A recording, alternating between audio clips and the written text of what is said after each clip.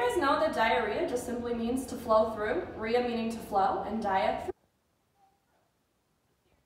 Did you also know that diarrhea can be prevented by safely disposing of human waste?